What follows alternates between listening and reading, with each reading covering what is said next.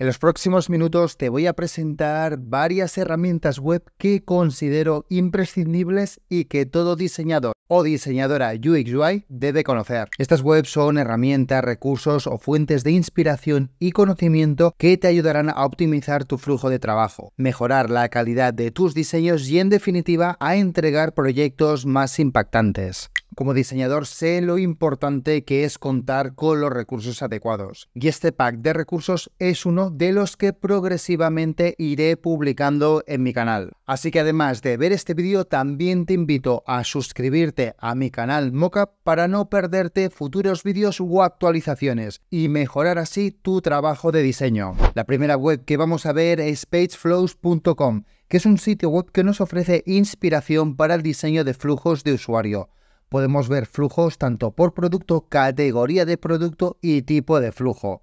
Esto nos puede ayudar a inspirarnos para nuestros propios diseños y aprender sobre las mejores prácticas en el diseño de flujos de usuario. ¿Cómo lo podemos ver? Pues mediante vídeos y capturas de pantalla. Además también tenemos diferentes filtros, desktop, mobile, tipos de flujo y además también tipos de producto y categoría del producto. Si por ejemplo filtramos por upgrading, account y desktop, vemos diferentes flujos en formato vídeo para podernos inspirar y esto nos ahorra el tener que registrarnos por ejemplo en muchas plataformas. Aquí tenemos Spotify y por ejemplo vemos que tenemos un vídeo de prácticamente dos minutos, no lo vamos a reproducir todo el vídeo, esto lo dejo a vuestra elección, pero aquí sí que veríamos cómo hacemos el upgrade de nuestra cuenta de Spotify. Y esto también nos permite saber cómo algunos productos, en este caso Spotify, cómo diseñan no solamente el flujo, sino los diferentes componentes, páginas, elementos gráficos que también nos puede servir de inspiración. Hay que tener en cuenta que tenemos una versión free y una versión pro que podríamos acceder a todo el contenido, en este caso de vídeo o de capturas de pantalla. Si ahora, por ejemplo, filtramos por otra categoría y vemos que tenemos otra aplicación bastante conocida, en este caso Stripe, con su formulario para introducir los datos bancarios y hacer una compra de algún tipo de producto. Relacionado con la web anterior tenemos checklist.design. Es una herramienta que está diseñada específicamente para ayudarnos a crear y gestionar checklists de diseño UX. Estos checklists son guías detalladas que te permiten asegurar que no se te escape ningún detalle durante el proceso de diseño. Vemos que tenemos diferentes categorías, como por ejemplo la de páginas, y una vez aquí, si quisiéramos saber cuáles son aquellos elementos esenciales de la página de login, tenemos un checklist formado por 10 elementos, los cuales al principio tenemos esos elementos casi imprescindibles en la página de login y después tendríamos aquellos elementos opcionales que sí que pueden estar o no estar, pero le darán un toque distintivo a nuestra página de login. Además también tenemos una sección de inspiración en cuanto, por ejemplo, a capturas o diseños ya elaborados, a artículos relacionados, en este caso con el registro de usuarios, login, etc. Y además algunos ejemplos hechos con páginas web reales. Si nos vamos, por ejemplo, a elementos, es decir, componentes, también tendríamos todo este abanico extenso de, por ejemplo, los diferentes componentes, en este caso una tabla. Y si quisiéramos diseñar nuestra tabla desde cero, vamos chequeando conforme vayamos completando todas esas recomendaciones. En cuanto a los flujos, también tenemos diferentes opciones. Y si clicamos en el enviar un formulario, ahí vemos las diferentes casuísticas que podemos llegar a tener, como por ejemplo el mostrar el botón para enviar ese formulario. Una vez clicado, por ejemplo, tenemos también que mostrar el estado de loading, como que ahí está sucediendo algo. Y si, por ejemplo, ha sido enviado correctamente, mostrar ese mensaje de éxito. Si por el contrario ese formulario no se ha enviado, tenemos aquí diferentes opciones como mensajes de error o conforme esa dirección no es correcta. También tenemos algunos temas, como podemos observar, y también tenemos recomendaciones relacionadas con la marca, ya sea de logo, social media, etc. La siguiente web que vamos a ver es brandgetlines.net. Es una herramienta pensada especialmente para aquellos diseñadores que trabajáis en proyectos de branding o identidad visual, ya que podemos adentrarnos dentro del mundo de las marcas reconocidas a nivel mundial y descubrir cómo han desarrollado su identidad visual. Aquí observamos diferentes marcas muy reconocidas y si por ejemplo entramos dentro de Twitch podemos analizar cómo este tipo de marcas han resuelto desafíos de diseño específicos y además cómo aplicar estos conocimientos a nuestros propios proyectos. Al observar una gran variedad de estilos desarrollarás un ojo más crítico y podrás evaluar la efectividad de diferentes soluciones de diseño. En definitiva, una web que nos ayudará a establecer nuestras propias reglas de diseño, como colores, tipografía, layout o incluso el tono que queramos transmitir a nuestros usuarios. La siguiente web que vamos a ver está relacionada tanto con el color como las fuentes de tipografía. Es realtimecolors.com y esto es una web en la que podemos ir probando aquellos colores que posteriormente podemos utilizar en nuestros diseños. Como estamos observando, tenemos una web con diferentes secciones, diferentes estructuras, como por ejemplo el pricing, testimonials, facts, etc.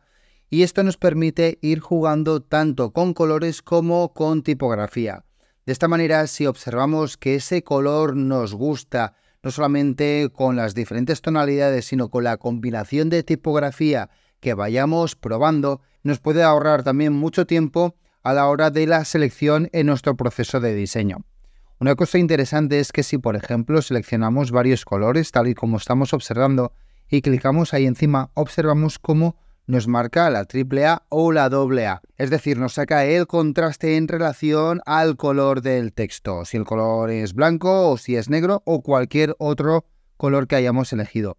Lo interesante también es que podemos cambiar el modo y pasar la web entera al modo oscuro. Vemos cómo también los tonos cambian. Además también lo que podemos hacer es elegir el tipo de esquema de color, es decir, monocromático, análogo, etc. De esa manera podemos seleccionar otros colores relacionados complementarios para ir haciendo pruebas y chequeamos toda la web para ver si realmente nos puede interesar ese color o no. En el caso de que nos interese, podemos, por ejemplo, exportar esa selección de colores o incluso compartir el link con los cambios realizados. Si clicamos para observar las fuentes y cómo podemos modificarlas, vemos que lo tenemos separado por los headings o el body. Lo interesante también es que tenemos el plugin de Figma, pero esto ya lo dejaremos para otro vídeo de mi canal. Relacionado exclusivamente con el color tenemos uicolors.app, donde tenemos el Tailwind CSS Color Generator. A partir de un color base vemos diferentes variantes y además las podemos ir probando con los diferentes componentes que nos ofrece esta web.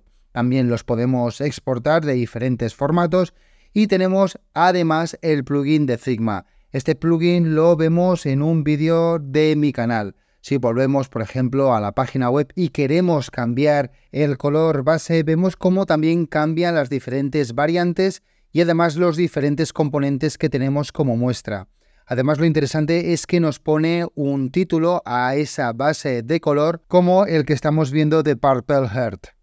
La siguiente web que vamos a ver ya es una herramienta para crear patrones para un sistema de diseño, que son como una guía visual que define la apariencia y el estilo de todos los elementos de una interfaz, como por ejemplo pueden ser colores, formas, etc. Pues aquí podemos crear formas, como estamos viendo, tenemos diferentes opciones. Por ejemplo, lo que vamos a hacer ahora es crear un pattern que nos sirva como fondo o background para nuestra página web o nuestra aplicación.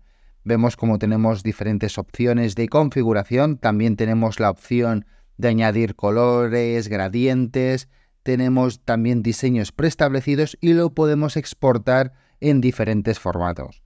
Pues bien, vamos a configurarlo de tal manera para crear como una grid o una retícula hecha con puntos, que sea totalmente homogéneo. Ahí estamos observando cómo estamos ampliando también la separación entre los diferentes puntos. Podemos añadir un color de fondo, en este caso un gradiente, que sea entre el negro y este azul liloso. y lo que vamos a hacer es además también exportarlo en formato SVG para añadirlo a un archivo de Figma. Una vez añadido, lo que podemos hacer es escribir un texto por encima y de esta manera ya tendríamos nuestro pattern para utilizarlo dentro de nuestro sistema de diseño. Por lo que respecta a sistemas de diseño y componentes, tenemos esta otra web. Ahora concretamente estamos en la página de componentes, donde tenemos un sinfín de ejemplos tanto de, por ejemplo, acordeón, alert y todos estos componentes que podemos ir consultando y de esta manera coger referencias. Si, por ejemplo, clicamos dentro del componente form, tenemos concretamente 28 ejemplos, los cuales forman parte del sistema de diseño de Design, Atlassian Design System, Bolt, Bootstrap o Carbon Design System, que es el sistema de diseño de IBM. Ahí tendríamos el componente de formulario dentro del sistema de diseño de IBM para cogerlo como referencia y ejemplo para crear nuestro propio sistema de diseño y en concreto este componente.